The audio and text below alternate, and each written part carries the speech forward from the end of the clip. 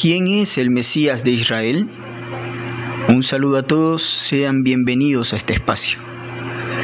En el concepto sobre el Mesías que sostiene comúnmente el siglo XXI entre los judíos de orientación religiosa, el Mesías es alguien que va a introducir en la tierra la codiciada paz que la humanidad ha anhelado desde tiempos antiguos.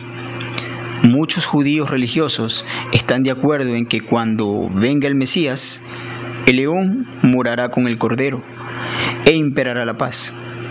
Sin embargo, como ese día no parece más cerca hoy de lo que parecía cuatro mil años atrás en el tiempo de Abraham, muchos judíos han abandonado toda esperanza de un Mesías venidero o de un reinado de paz en la tierra. Lo que la mayoría del pueblo judío no comprende sin embargo, es que el actual concepto judío sobre el Mesías no es el concepto judío tradicional.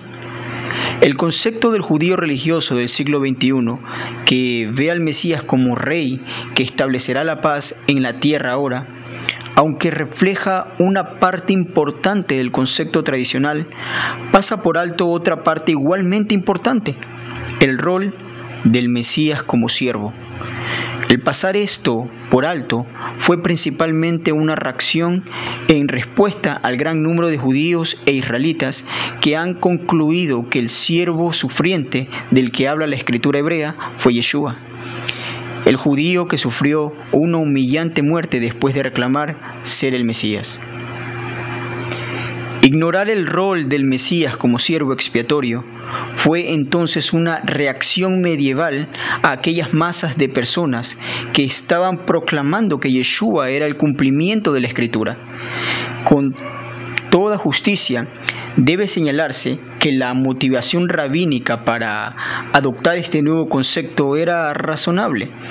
El antisemitismo representaba una amenaza constante para la nación de Israel, especialmente después de la destrucción del segundo templo en el año 70. Los líderes judíos, por lo tanto, necesitaban hallar una manera de mantener unidos a los judíos en la diáspora. Una manera de reforzar la creencia de que Yeshua era el Mesías cristiano y no el judío. Para lograr esto, a menudo reaccionaban excesivamente y distorsionaban el cuadro del Mesías de tal forma que resultaba inconsistente con el Mesías que presentan los profetas de las Escrituras. Irónicamente, la mayoría de los rabinos le han prestado un mal servicio al mismo pueblo, lo cual ellos querían preservar.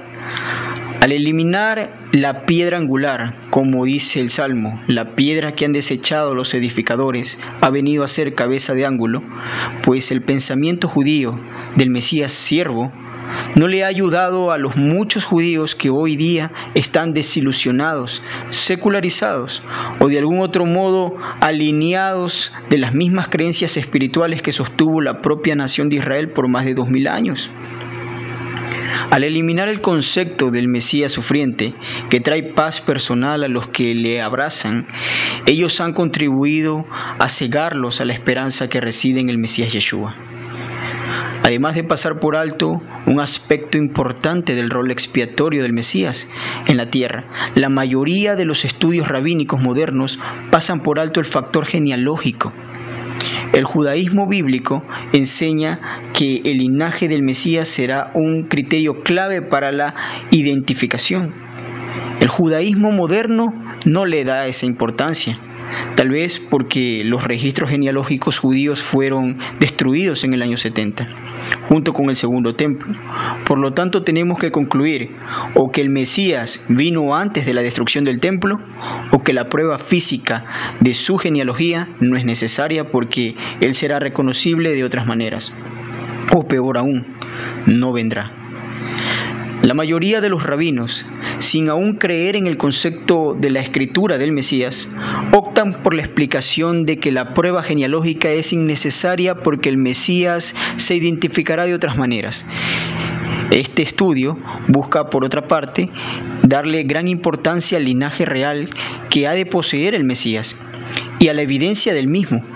La evidencia genealógica para identificar al Mesías no solamente es necesaria, sino que existe en la Escritura. El trazar el linaje del Mesías y los roles claves que le, asignó el Todopoderoso en las Escrituras hebreas, se hace claro que Yeshua cumple por lo menos dos criterios mesiánicos. Primero, él vino de las raíces reales correctas. Y el segundo, él cumplió el rol del siervo expiatorio.